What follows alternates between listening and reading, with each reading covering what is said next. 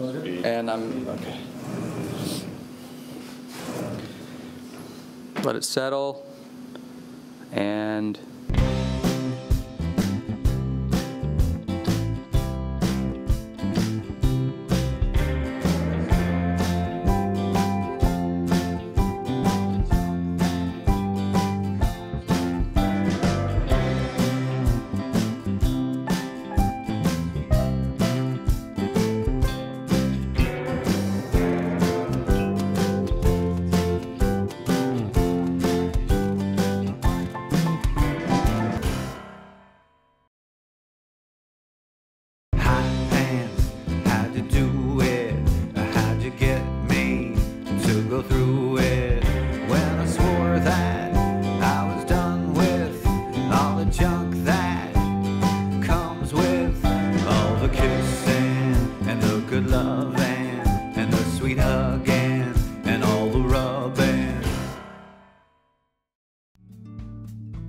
I had my heart broken and then I met someone else. You know, when your heart's broken, you you think you'll never love again and you don't know why you failed so miserably and why you put yourself through it. And then I met somebody who made me feel love again. One of the places I work is near Cape Town, and I would go to restaurants there. Often they would be playing K pop music videos on big screens. And I started to notice that a lot of the time the girls are dancing in hot pants. And it made me think of this song. And it's a song that when I play it, people seem to respond to. So it's always been in the back of my head like, if I make a video, I should probably do it for hot pants. And so one day, watching a K pop video, I thought, well, I should make a K pop video for hot pants. It was not easy to find the dancers. And I I wanted to make this video for three years before Psy, before I had ever heard of Psy. I felt like, well, I'm in New York. I should be able to find Korean dancers. I I have approached a couple of people in in the past few years, but nothing happened. And then uh, one day I saw a neighbor walking a little dog. she found it on the Korean Craigslist, which is HeyKorean. And like a light went off in my head. So I asked a, a Korean friend if she would post the advertisement, and I got like five or six responses. And a couple of them seemed outstanding, and one of them was Eileen's, who wrote I have a lot of experience for the uh, teaching and dancing on the stage and choreo- choreographer in my country, in Korea. So that was very interesting to me. So I contacted her to find out if she had relationships with Asian dancers because the number of responses wasn't so great. And she said, Of course, I, I teach in Queens and in Manhattan, and I could find Asian dancers. So it seemed uh, like the way to go. It was not what I expected. I know they were looking for like K-pop style, so I thought it would be like more of a K-pop style song, but it wasn't at all. Like a cute little country-ish, folkish, like love song. It had a really country theme. I had no idea that it was about hot pants. I I had no idea it was about hot pants. I didn't really pay attention to the lyrics at first, but then I started to realize that uh, it was about hot pants when we, you know, started wearing the shorts. That's when I realized it's about hot pants. It's country song with the K-pop dance. First time I was uh, thinking very, you know, not matching, but he sent me the, some video with the K-pop stars.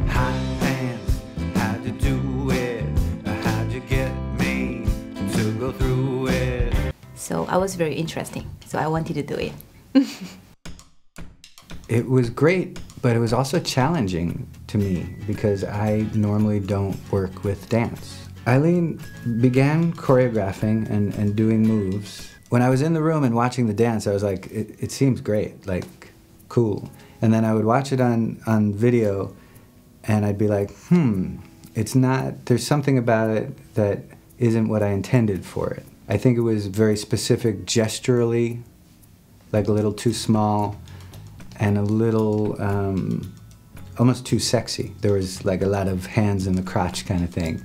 And I, I, have been nervous from the beginning that I'm going to receive some hate or some negativity about getting six beautiful Asian girls to dance with me in golden hot pants.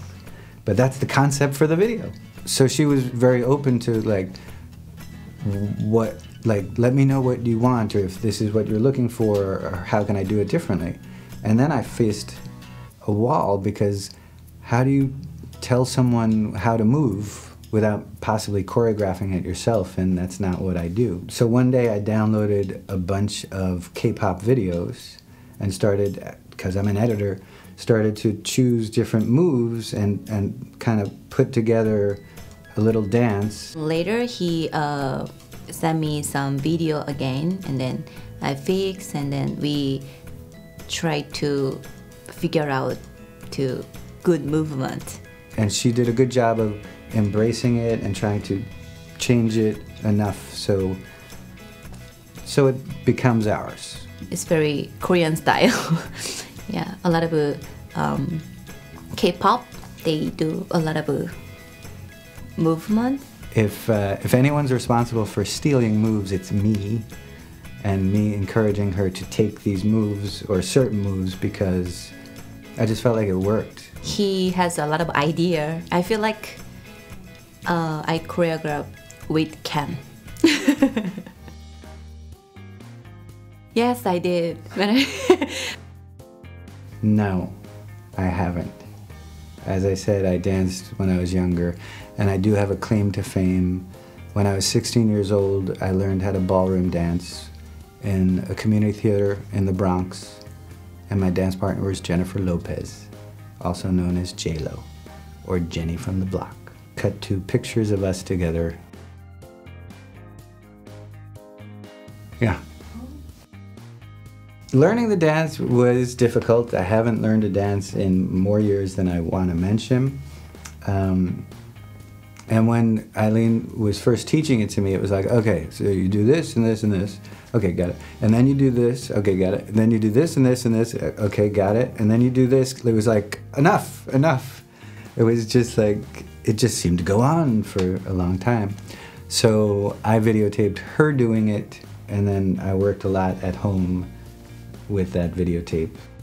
Ken's dancing, he actually surprised me because the second part of the dance, um, I even I couldn't get it down at first, but then he came and then he was like doing. It. I guess he like practiced by himself, so that surprised me because I didn't know that he was actually gonna come out and do what we were doing.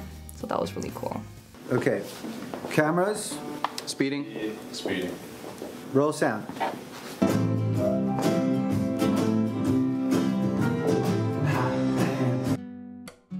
It was demanding, but it wasn't backbreaking. Okay, let's do it again. He was the main character of the music video, and then he had to direct everything as well. So he was running back and forth, he's watching it, and he's doing it himself, and it must have been hard work. I'd like to see it. At the same time, he's doing a lot of job because he has to shooting, he has to singing, he has to dancing, he has to playing. Everything's rolling? Still speeding. Okay.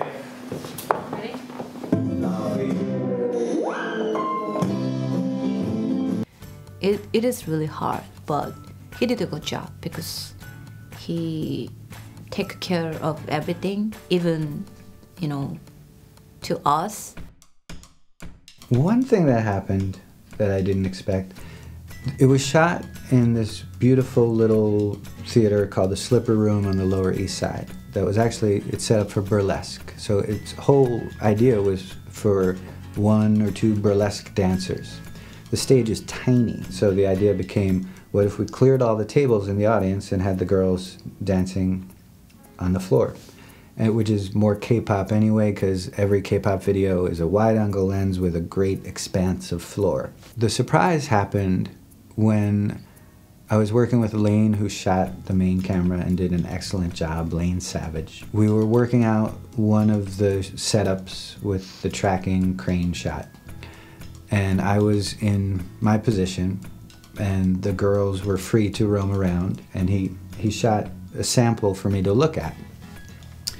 And when I looked at it, in the background were a couple of the girls taking pictures of themselves on stage. So in this example footage, I saw the girl on stage and me in the foreground. And I thought, what if we put all of the girls on stage and had me in the foreground for one take? And it was great. It like it really mixes it up in the first part of the song, and that I didn't expect to do. Yes, because in Korea, you know, they do uh, K-pop song and K-pop dance. I think it's the first one that I I actually watched or whatever. Yeah, I never saw it before. Awesome. It's a new style.